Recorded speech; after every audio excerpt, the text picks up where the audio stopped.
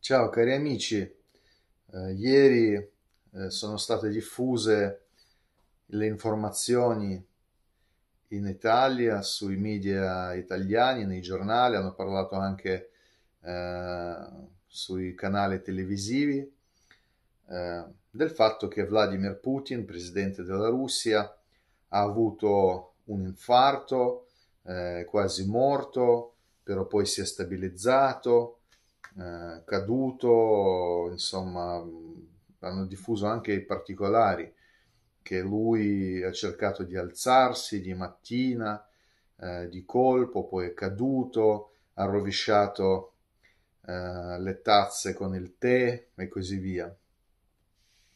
E ovviamente tutto il mondo occidentale, tutti eh, quelli che di solito pendono dalle labbra di vari scribacchini, vari finti giornalisti, finti esperti, tutti quelli che sono abituati ad ascoltare la propaganda atlantista, subito hanno iniziato a urlare ecco, Putin è morto, Putin sta morendo, la Russia è finita, l'Ucraina eh, ha vinto e così via. Io ovviamente ieri non ho commentato questa notizia perché intanto ho aspettato eh, che tutto questo, uh, tutti questi voci un po' uh, si uh, calmino e poi ho anche osservato questo sceno spettacolo come l'ho già fatto diverse volte da, da fuori, dalla distanza, cercando di capire chi e come diffonde queste baggianate. Per me è molto interessante a capire come funziona uh, il segmento della propaganda occidentale, come vengono diffuse certe notizie, come vengono, uh, diciamo, uh, messe in funzione certe fake news. Per questo io sono stato lì a, ad aspettare, non ho fatto il video subito. Ovviamente si tratta di una dell'ennesima fake news, dell'ennesima notizia falsa, eh, perché eh, si tratta di notizia falsa. Innanzitutto perché a diffonderla sono stati gli ucraini.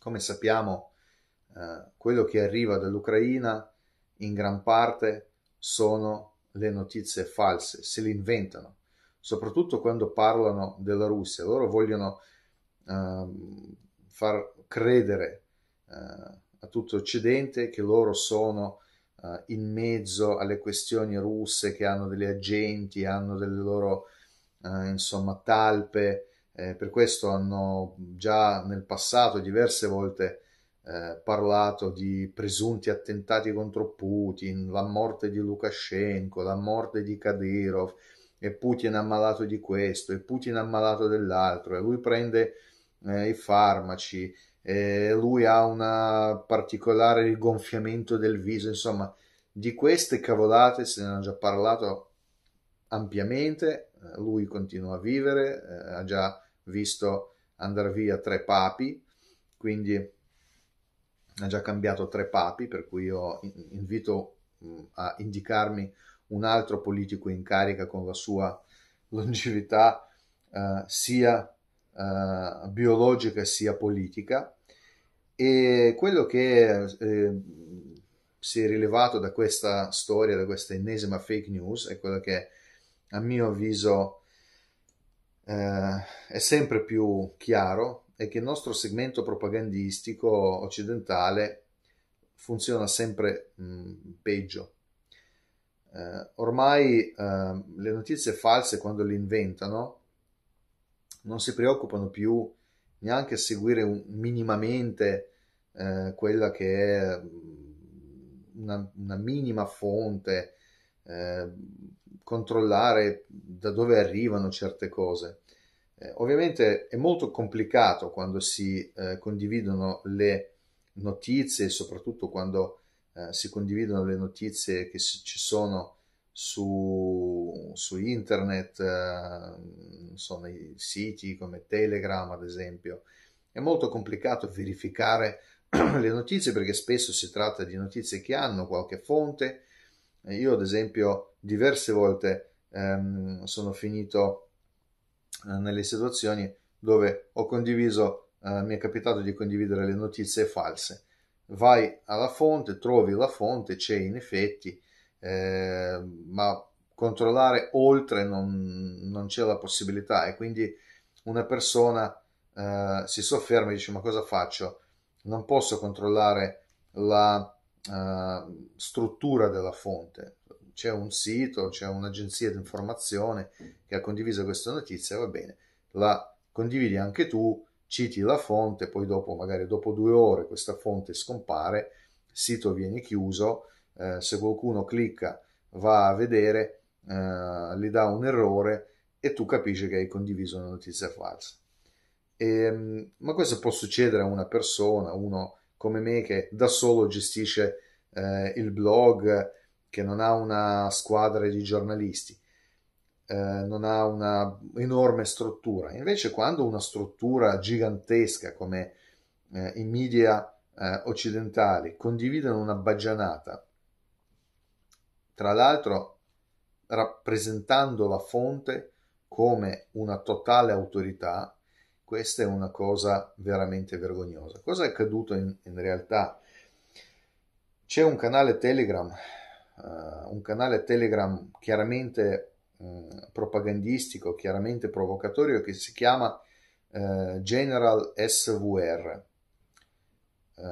SVR in russo vuol dire Служба внешней разведки, servizio dell'intelligence esterna. Così si chiama quella parte della, della um, ex KGB che si occupa di spionaggio esterno. Tra l'altro eh, è stato uh, il dipartimento nel quale ha prestato servizio anche Vladimir Putin, quando era uh, il maggiore uh, della KGB. È una, voi immaginate una persona che gestisce un canale del genere. È chiaro che sul canale Telegram si può scrivere qualsiasi cosa. Io posso aprire un canale Telegram e chiamarlo Regina Elisabetta, oppure posso chiamarlo Mike Tyson, oppure posso chiamarlo Leone Tolstoi. Su Telegram non c'è nessun uh, criterio che può uh, dimostrare la veridicità della mia persona. Io posso chiamare come voglio il mio canale. In effetti su Telegram ci sono alcuni canali falsi che si chiamano Nicola Lilin, che non li ho aperti io, li ho aperti qualcuno.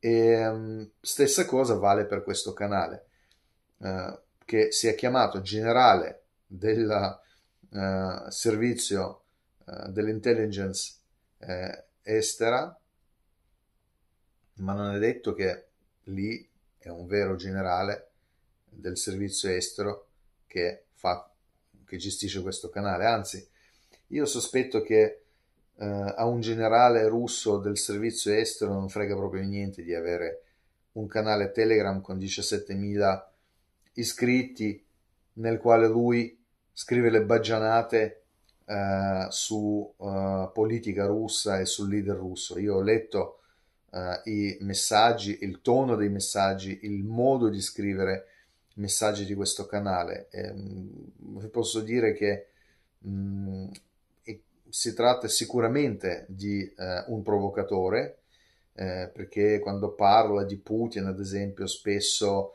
eh, parla del fatto che Putin ha numerose quantità dei sosia, che in realtà Putin non è più eh, vivo ma è morto e adesso governa il suo sosia. Io ho trovato su questo canale anche questo tipo di informazione. Ho letto attentamente, ieri sera ho fatto tutta una eh, carellata di notizie che scrive la persona che conduce questo canale. E, a mio avviso si tratta di un personaggio che ha aperto questo canale con la voglia di provocare, di condividere le notizie provocatorie. Cosa fanno i, uh, gli ucraini, i giornalisti ucraini, prendono un commento da questo canale, commento totalmente inventato, non ha nessun, nessun appoggio, lui dice in questo commento, uh, cari amici, stamattina presidente Putin ha avuto un infarto, caduto, ha rovesciato la tazza con il tè, cioè è una narrativa, è un, so, un piccolo racconto di fantasia. Non è scritto da dove è arrivata la notizia, chi è stato a riportarla. Uh, almeno poteva dire uh, mi hanno riferito uh, i militari che svolgono il servizio di sicurezza presso Vladimir Putin, presso la sua presidenza e così via eh, oppure non so, mi hai riferito il medico, i contatti con il medico, niente. Semplicemente un racconto totalmente folle che sembra quasi un racconto nostalgico, cioè la nostalgia per un desiderio uh, di morte di Putin.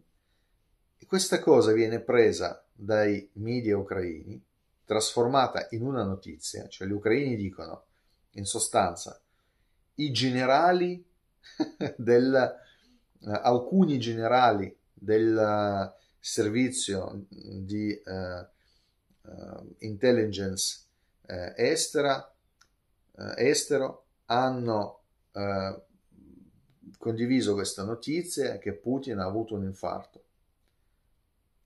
Io quando ho letto questa cosa ho detto ma sì, è palese che questa è una notizia falsa, però eh, i media ucraini si sono basati su questo canale Telegram. I nostri eh, giornalisti, tra virgolette, questo branco di incapaci che noi abbiamo a posto di professionisti, ma ormai sappiamo come funzionano, veramente danno attenzione a una notizia del genere, anzi la fanno trasformare nella notizia del giorno Ah, Putin ha avuto infarto, a guardare tutti è morto. Basandosi su che cosa? Su uh, un commento su Telegram, su un post su Telegram di qualche millantatore che è stato trasformato dai giornalisti ucraini in un reale generale uh, di servizi segreti russi e i nostri eh, giornalisti occidentali po- riportano questa notizia come già una cosa sicura. È una roba veramente allucinante. Cioè, noi viviamo eh, chiaramente in un mondo di ansioma proprio. To- siamo totalmente distaccati dalla linea eh, della realtà oggettiva e viviamo in un mondo finto. Per l'ennesima volta io questa cosa la capisco e percepisco leggendo queste baggianate. E vi posso dire che io personalmente non lo so come sta Vladimir Putin. Io non so se lui eh, ha il sedere che gli prude, oppure ha un brufolo eh, su un piede, oppure ha un occhio che le fa male, oppure eh, ha un raffreddore. Non lo so, è impossibile saperlo. Tutte le informazioni su uh, stato di leader e di gruppo di principali politici è un segreto di Stato. Non si può sapere, cioè non esiste nessuno che vi può dire Putin ha avuto uh, un uh, attacco di cuore oppure uh, Putin ha un raffreddore, Putin prende medicinale e così via. Queste informazioni sono segrete per la natura specifica della, dell'attività delle persone coinvolte. Quindi non ci sarà mai un dottore, un medico, uh, un militare dei servizi segreti che vi potrà rivelare questa cosa. Non sono um, persone di questo tipo, di questo calibro. Intanto sono ben pagati, sono molto ben controllati, è lì chi si avvicina a queste persone ehm, ormai è fedelissimo e non ha alcun interesse personale di gestire un canale Telegram sul quale raccontare come sta Presidente Putin. È veramente un'idiozia. E chi non lo capisce, chi oggi non capisce questa semplice cosa, o è un idiota o è in malafede.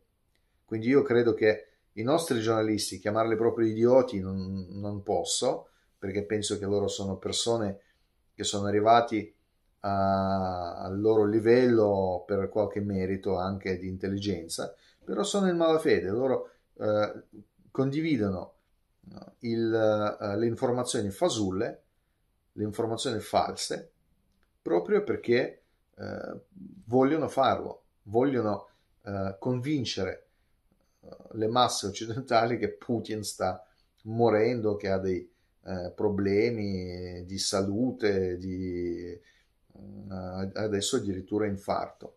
Io vi ricordo che quando arrivano simili situazioni, nella um, propaganda occidentale. Propaganda occidentale eh, ha un funzionamento molto particolare.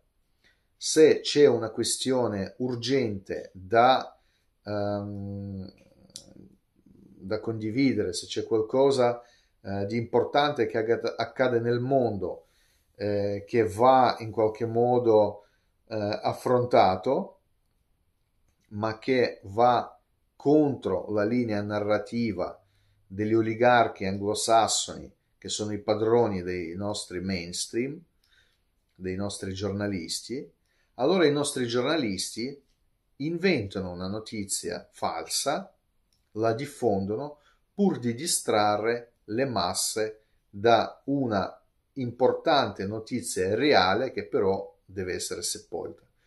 Quindi, pur di non parlare del fallimento totale dell'esercito ucraino uh, in prima linea, pur di non parlare or- ormai di fallimento di politica di Zelensky, chiamarla politica poi è un, insomma, un'offesa alla politica, anche alla peggior politica.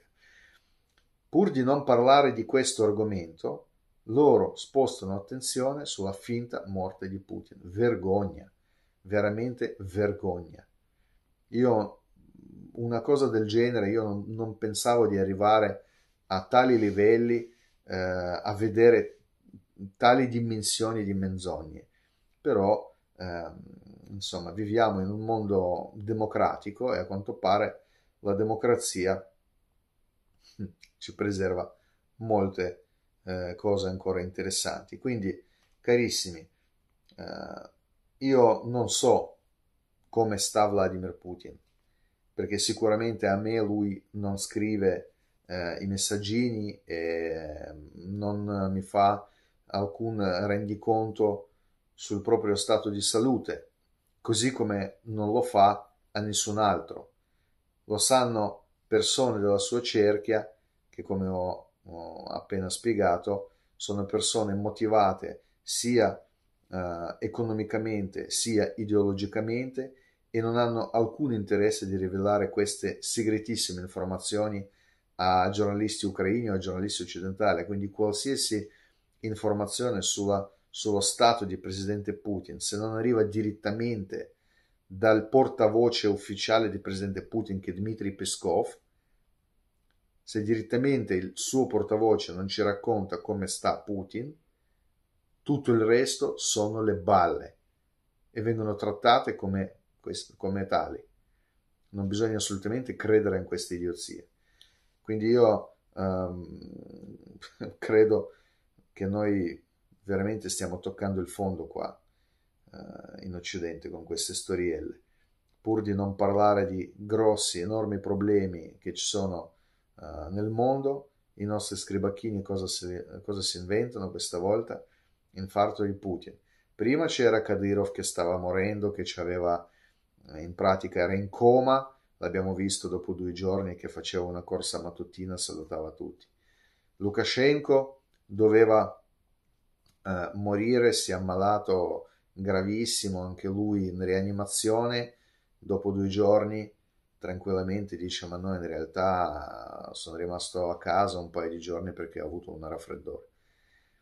Insomma, ma quanto vogliamo smettere con queste balle? quanto l'Occidente smetterà di trasmettere queste idiozie. Non, non, siete ancora stanchi? Io un po' sì. Va bene. Amici, questa è la mia opinione su ciò che eh, è successo a Putin.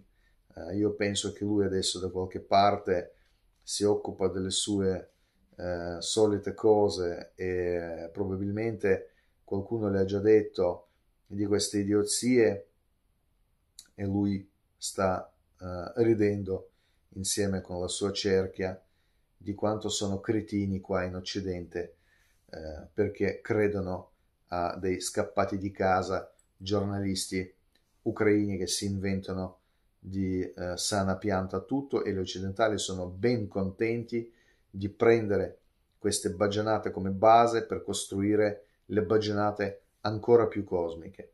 E Putin ride, a mio avviso.